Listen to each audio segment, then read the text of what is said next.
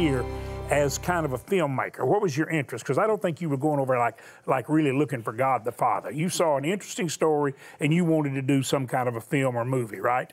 You caught me.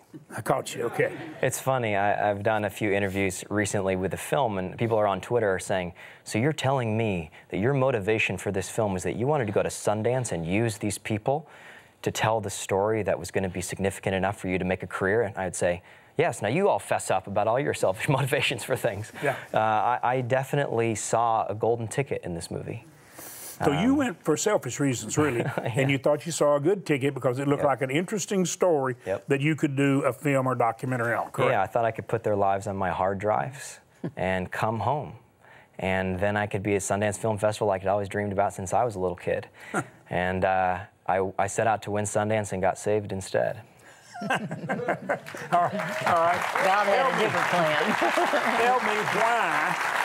Because you, you talk about saved like it's not some religious term. It's like, hey, man, I got rescued from the deep. I mean, I, you better I mean, believe I. Really, I'm, i was dead and I'm alive. Yes, I mean, sir. it sounds like joy to me. So, yes, what sir. happened? What, what caused this encounter, this, this transformation? Well, uh, I didn't think I needed to be saved, to be honest with you.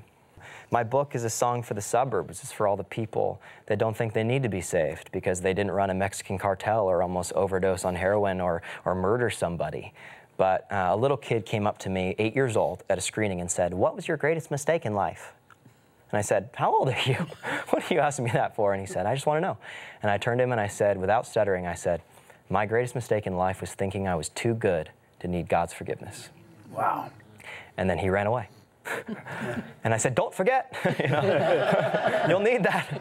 You know. This, this, did this pastor and what he was doing is that is that what opened your eyes to see something far greater than you envisioned? Pastor Lee was the proof to me. You know, um, I thought Christianity was kind of a joke, to be honest with you. I thought evangelicals were even bigger joke. Very ignorant, hateful people trying to think they're better than everybody else. But what I found out is that Christians aren't the perfect people. They're the people who think and know in their souls they're not even good, but that they're still wanted and loved, right? Yes. And so for me, seeing Pastor Lee was seeing living proof of a loving God. And what I love is coming on shows like this and getting to be proof of Him, right? Mm-hmm. It was two things. The first thing was hearing a sermon about the cross, listening to the sermon on a computer, the same computer I'd been addicted to pornography on for six years. Mm. I should say enslaved, because that's really what it was. Mm. Really abusive relationships that I was in. I had huge anger issues. I would scream at girls I was in relationship with, throw things, kick chairs. I'm serious. Behind closed doors, God sees our hearts, right? This is the thing. People don't want to say this stuff, but I have to say it's not fun for me. But I have to say it because I want people to understand that you need to be forgiven, but forgiveness is the road home.